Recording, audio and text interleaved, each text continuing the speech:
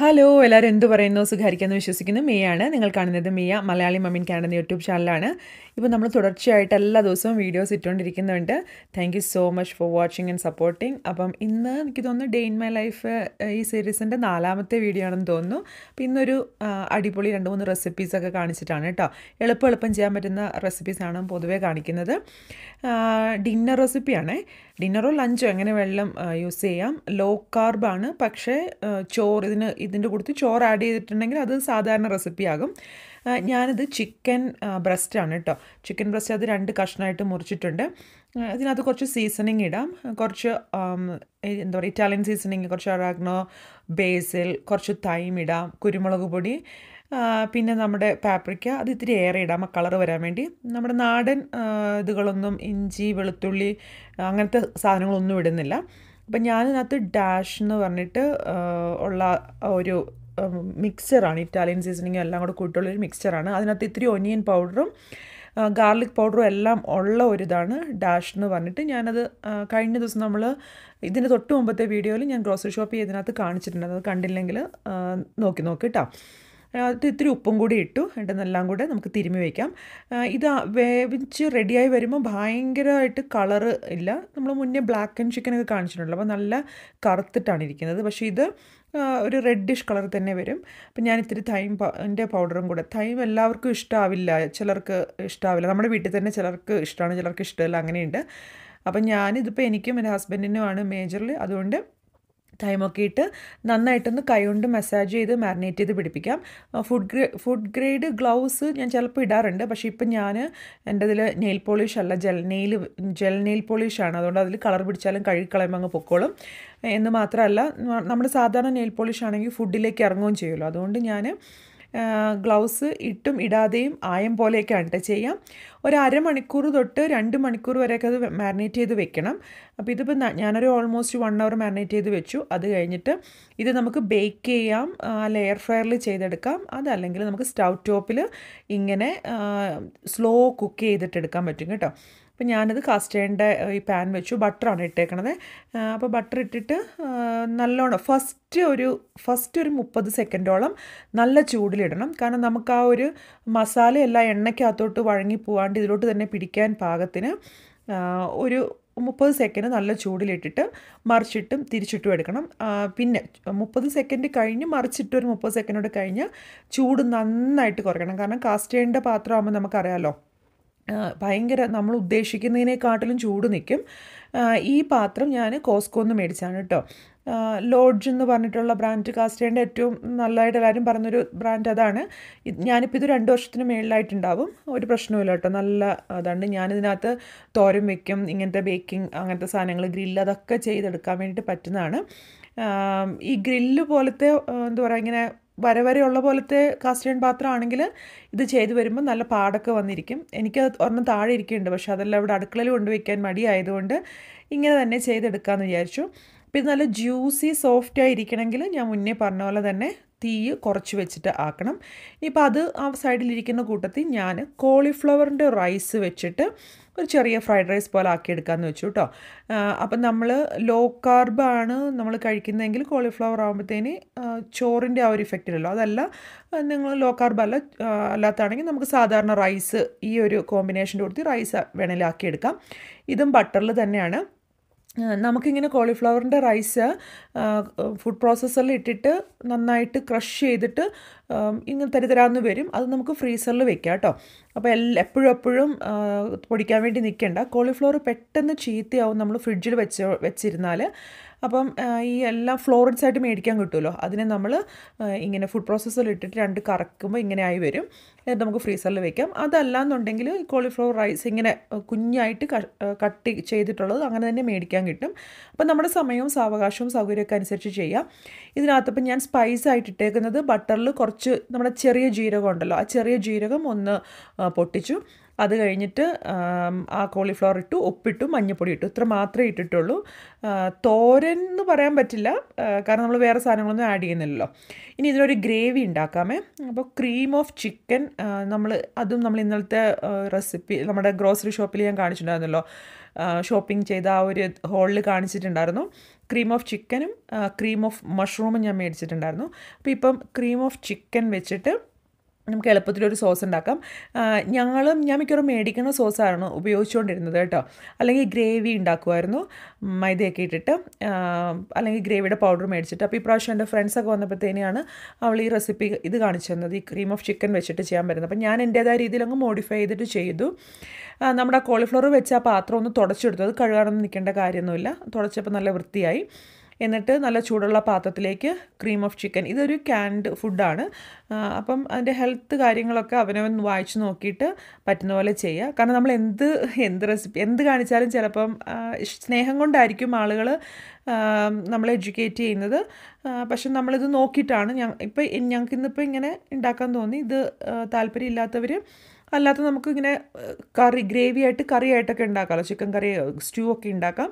പക്ഷെ ഇത് നല്ലതാണ് കേട്ടോ. താല്പര്യമുള്ളവർ ഈ ക്രീം ഓഫ് ചിക്കനൊക്കെ യൂസ് ചെയ്യുന്നവർ ഒരിക്കലും ഇങ്ങനെ ട്രൈ ചെയ്ത് നോക്കിയിട്ടില്ലെങ്കിൽ ട്രൈ ചെയ്ത് നോക്കാം. നല്ല സൂപ്പറാണ് അപ്പം ഞാൻ ക്യാനിലുണ്ടായിരുന്ന ആ ഒരു ക്രീം ഓഫ് ചിക്കൻ അത് പാത്രത്തിൽ ഒഴിച്ചു. അത്ര തന്നെ വെള്ളം കൂടെ ഒഴിച്ചു കേട്ടോ ഇത് നമുക്ക് ഒന്ന് കുറുകി നമ്മുടെ പാകത്തിന് വരാൻ വേണ്ടിയിട്ട് ഇതിപ്പോൾ കട്ടയായിട്ടിരിക്കുകയാണ് ക്രീമാണല്ലോ പക്ഷെ നമ്മളിത് ചൂടാക്കി വെള്ളം ഒഴിച്ചിട്ടുണ്ട്. അത് ചൂടാക്കി വരുമ്പോഴത്തേന് ഇത് നന്നായിട്ട് അലുത്ത് വരും. അപ്പോൾ ഇതിനകത്ത് ഫ്ലേവർ എന്തെങ്കിലുമൊക്കെ നമുക്ക് വേണ്ടത് ആഡ് ചെയ്യാം. ഞാൻ ഇതിനകത്ത് കുറച്ചൊരു പൊടിക്ക് ഇറ്റാലിയൻ സീസണിങ്ങും ഒരു പൊടി ബേസിലും കൂടെ ആഡ് ചെയ്യുന്നുണ്ട് കേട്ടോ. അത് നമ്മുടെ വീഡിയോയിൽ വരുമ്പോഴത്തേന് കാണാം. എന്നിട്ട് നമ്മൾ നോക്കി നിൽക്കണം. കാരണം വെള്ളം പറ്റി പിന്നെയും കുറുകി കട്ടിയാവേണ്ട ആവശ്യമില്ല. നമുക്ക് നല്ലൊരു പാകത്തിന് കിട്ടിയാൽ മതി. അപ്പോൾ അതാ ഞാൻ പറഞ്ഞില്ലേ ഞാൻ ഇറ്റാലിയൻ സീസണിങ്ങും ബേസിലും കൂടെ ഇതൊന്ന് എടുക്കാറാകുമ്പോഴത്തേന് ഇടും. അപ്പോൾ നല്ല ചൂടോടുകൂടി ഈ ഗ്രേവി ഒഴിച്ചിട്ട് രസമാണ് കേട്ടോ. ഇങ്ങനത്തെ ഫുഡൊക്കെ ഇഷ്ടമുള്ളവർക്ക് ചിലർക്കൊന്നും ഒട്ടും ഇഷ്ടമല്ല കേട്ടോ ഇങ്ങനത്തെ ബ്ലാൻഡ് ആയിട്ടുള്ളത്. എനിക്കും പണ്ട് ഞാൻ ശരിക്കും അയർലൻഡിൽ ആദ്യം ചെല്ലുമ്പോഴാണ് ഇങ്ങനത്തെ ഫുഡൊക്കെ കാണുന്നത്. അപ്പോൾ എനിക്ക് അയ്യോ ഇവരെങ്ങനെയാണ് ഈ മീറ്റിന്റെ മേളിൽ ജസ്റ്റ് ബേക്ക് ചെയ്ത് മീറ്റിന്റെ മേളിൽ ഗ്രേവി ഒഴിച്ച് കഴിക്കുന്നതൊക്കെ ഞാൻ എന്റെ വീട്ടിൽ വിളിച്ചൊക്കെ പറഞ്ഞത് എനിക്കിപ്പോഴും ഓർമ്മയുണ്ട്. പക്ഷേ ഇപ്പം ശീലങ്ങളാണല്ലോ നമുക്ക് ഫുഡ് എന്ന് പറയണത്.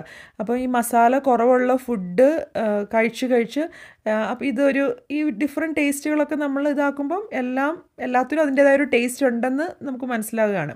അപ്പം ഞാൻ മുന്നേ പറഞ്ഞ പോലെ പാസ്ത വേണമെങ്കിൽ അത് ഇടാം.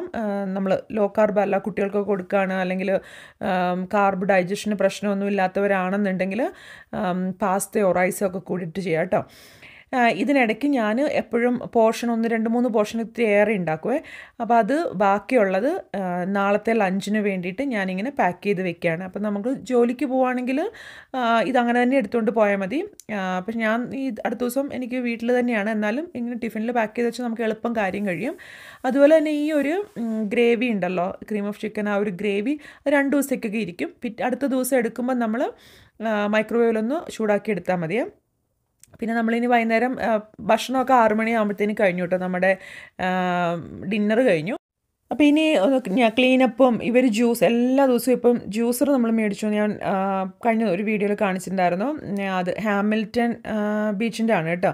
ഞാൻ ബ്ലാക്ക് ആൻഡ് ഡെക്കർ എന്നാണ് പറഞ്ഞത്. പക്ഷേ ഹാമിൽട്ടൺ ബീച്ച് എന്ന് പറഞ്ഞ ബ്രാൻഡിന്റെയാണ് അപ്പോൾ അത് കാരണം വൈകുന്നേരം ഒരു ജ്യൂസ് ഉണ്ടാക്കൽ പരിപാടിയാണ്. അപ്പോൾ തോമസ് ക്ലീൻ ചെയ്തോളാം എന്ന് പറഞ്ഞു കിച്ചൺ. അപ്പം ഞാൻ എനിക്ക് ബാക്കി കുറച്ച് പരിപാടികളൊക്കെ ചെയ്യണം. പരിപാടി എന്ന് വെച്ചാൽ തുണി മടക്കുക എന്നുള്ളതാണ്. രാവിലെ അലക്കാനിടും. വൈകിട്ട് ആകുമ്പോൾ അത് ഡ്രൈ ആയിട്ടുണ്ടാവും. അപ്പം നമ്മൾ ഡ്രയറിൽ നിന്ന് എടുത്തിട്ട് ഒന്ന് മടക്കി വെക്കണം. ഞാൻ നിങ്ങളോട് മറച്ചു വെച്ച ഒരു രഹസ്യം പറയാം കേട്ടോ. ഞാൻ കുറേ നാളായിട്ട് വീഡിയോ ഇടാത്ത കുറേ നാളെന്ന് ഒരു മൂന്നാൽ വീഡിയോ മിസ്സായുള്ളൂ പക്ഷേ അപ്പോൾ ഒന്ന് രണ്ടാഴ്ച വീഡിയോ ഇട്ടില്ല.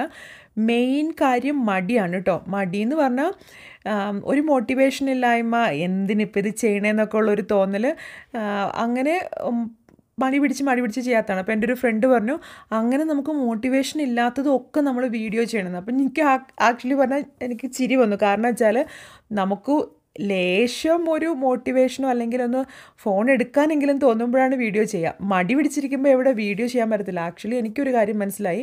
ഈ യൂട്യൂബ് വീഡിയോ ചെയ്യുന്നവരൊക്കെ ഉണ്ടല്ലോ അപാരമായ മോട്ടിവേഷൻ സെൽഫ് മോട്ടിവേഷൻ ഉള്ളവരാണ്. അതല്ലാതെ നമ്മളെ ആരും വന്നിട്ട് ചെയ്യുക വീഡിയോ ചെയ്യുന്നൊന്നും പറഞ്ഞ് അല്ലെങ്കിൽ നിങ്ങളെന്താ ജോലി എടുക്കാത്ത നിങ്ങൾക്ക് പിരിച്ചു എന്നൊന്നും പറയാൻ പറ്റാത്ത ഒരു മേഖലയാണല്ലോ യൂട്യൂബ് എന്ന് പറഞ്ഞാൽ അപ്പം നമ്മുടെ സൗകര്യത്തിന് ചെയ്യുക ചെയ്യാതിരിക്കുക. പക്ഷെ ഞാൻ പതുക്കെ തിരിച്ച് റുട്ടീനിലേക്ക് വന്നു. പിന്നെ എന്ന് പറഞ്ഞാൽ എല്ലാ മനുഷ്യർക്കും ഇങ്ങനെയുണ്ട്. എനിക്ക് ഒത്തിരി പേരെ അറിയാം എന്റെ ഫ്രണ്ട്സ്. നല്ല ഭയങ്കര എഫിഷ്യന്റ് ആയിട്ടിരിക്കുമ്പോൾ ചിലപ്പം ഇങ്ങനെ ഒരു റട്ട് ഇതിലോട്ട് പോകും. പക്ഷേ തന്നെ പുറ തിരിച്ചു വരും. കാരണം നമുക്ക് എല്ലാവർക്കും നമ്മുടെ ബോഡി അല്ലെങ്കിൽ നമ്മുടെ മൈൻഡ് തന്നെ നമ്മളെ ഒന്ന് ഒരു ബ്രേക്ക് എടുക്കാൻ വേണ്ടിയിട്ട് മെസ്സേജ് തരുമ്പോൾ നമ്മളത് എടുക്കണം തന്നെയാണ് എനിക്ക് തോന്നുന്നത്. അപ്പം കുറേ നാളത്തെ എന്താ പറയുക ചുമ്മാ ഇരിപ്പ് എന്നാൽ ഞാൻ അധികം ടി വി കാണാൻ മൂവി കാണാൻ അങ്ങനത്തെ പരിപാടിയൊന്നും ചെയ്യുന്നുണ്ടായിരുന്നില്ല കേട്ടോ. വായിച്ചിട്ടും ഉണ്ടായിരുന്നില്ല. വായന എന്ന് പറഞ്ഞ സംഭവം ഞാൻ ഡിസംബറിൽ സ്റ്റാർട്ട് ചെയ്ത ബുക്ക് ഈ കഴിഞ്ഞ ദിവസമാണ് കേട്ടോ. തീർന്നു എന്ന് തന്നെ പറയാൻ പറ്റില്ല. വായിക്കും തോറും കൂടി കൂടി വരുന്ന മൈൻഡ് സെറ്റ് എന്ന് പറഞ്ഞൊരു ബുക്കായിരുന്നേ. നല്ല ബുക്ക് അത്. പക്ഷേ എനിക്ക് തോന്നുന്നു ഞാൻ ആ ബുക്ക് വായിക്കാൻ വേണ്ടി റെഡി അല്ല. അല്ലെങ്കിൽ ആ ബുക്കിലെ മുഴുവൻ കാര്യം ഒരു ഒറ്റ പേജിൽ പറഞ്ഞാൽ മതിയായിരുന്നു എന്നൊക്കെ എനിക്ക് തോന്നി തുടങ്ങി. പിന്നെ അതിപ്പോൾ മാറ്റിയിട്ട് വേറെ ബുക്കാണ് ഞാൻ കാണിക്കട്ടെ. ഏത് ബുക്കാണ് വായിക്കുന്നതെന്ന് പിന്നെ ഞാൻ കുളിച്ച് റെഡിയായി വന്നു. തുണിയൊക്കെ മടക്കി വെച്ചിട്ട്. അപ്പം തോമസ് അടുക്കളൊക്കെ നല്ല ക്ലീൻ ആക്കിയിട്ടുണ്ടായിരുന്നു. വാക്യൂമൊക്കെ ചെയ്ത് ലിവിങ് റൂമൊക്കെ നല്ല സൂപ്പർ സെറ്റ് ആക്കിയിട്ടുണ്ടായിരുന്നു. അപ്പം ഞാൻ നാളത്തേക്കുള്ള പുട്ടിന് വേണ്ടിയിട്ട് നനച്ച് വെക്കാമെന്ന് വെച്ചു. പുട്ട് ഉണ്ടാക്കുന്നെങ്കിൽ മിക്കവാറും ഞാൻ അങ്ങനെയാണ് കേട്ടോ. ഈ ബ്രാഹ്മിന്റെ ബ്രാഹ്മിൻസിന്റെ പൊടിയാണല്ലോ. അത് പതിനഞ്ച് മിനിറ്റ് നമ്മൾ നനച്ച് വെക്കണം.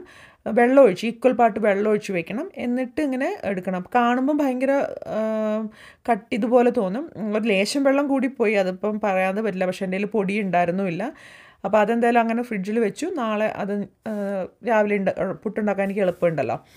ഇനിയിപ്പം നല്ല കുറച്ച് സമയമുണ്ട്. കാരണം വേറൊന്നും പ്രത്യേകിച്ച് ലിസ്റ്റിലില്ല. ഞാൻ പറഞ്ഞല്ലോ ഇപ്പം വളരെ സ്ലോ ആയിട്ടുള്ള ഒരു ലിവിങ് ആണ്. അപ്പം ഞാൻ വിചാരിച്ചു ഒരു ഫുഡ് സ്പാ ചെയ്യാമെന്ന് സമ്മറൊക്കെ വരെയല്ലേ ഇനിയാണ് നമുക്ക് കാലൊക്കെ ഇത്രയും നാൾ സോക്സിലും ബൂട്ടിലും ഷൂസിനും ഉള്ളിലുമാണല്ലോ.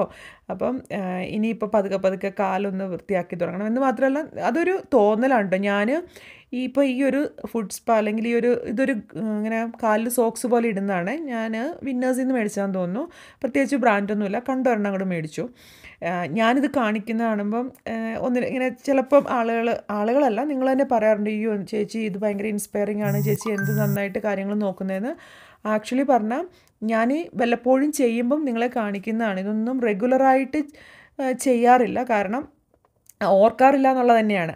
അപ്പോൾ അയച്ചു വന്നിട്ട് കാൽ മസാജ് ചെയ്യുക അവന് പറഞ്ഞ് ഇട്ട് കൊടുക്കാന്ന് വെച്ചിട്ട് സമ്മതിക്കണില്ല കേട്ടോ. എന്നിട്ട് പിന്നെ ഇതിട്ട് നടക്കാൻ പറ്റില്ല തെന്നി വീഴും. അപ്പം ഞാൻ അവനൊരു ബുക്കൊക്കെ എടുത്തുകൊണ്ട് വരാൻ പറഞ്ഞു. ഇപ്പം ഞാൻ വായിക്കുന്ന happy at work Jim Donovan നല്ലൊരു ബുക്കാണ് കേട്ടോ. കാരണം സിമ്പിളാണ് ഒരു കണ്ടിന്യൂറ്റിക്ക് പ്രശ്നമില്ല. പിന്നെ ഞാൻ ഓൾറെഡി റിവ്യൂസ് കേട്ടിട്ടുണ്ട്. ഈ ഓതറിന്റെ ബുക്സ് എന്ന് പറഞ്ഞാൽ പ്രാക്ടിക്കൽ ഇതാണ്. ഇങ്ങനെ വലിച്ച് പരത്തി നീട്ടിയിട്ടുള്ള പരിപാടിയൊന്നും ഇല്ല എന്നുള്ളത്.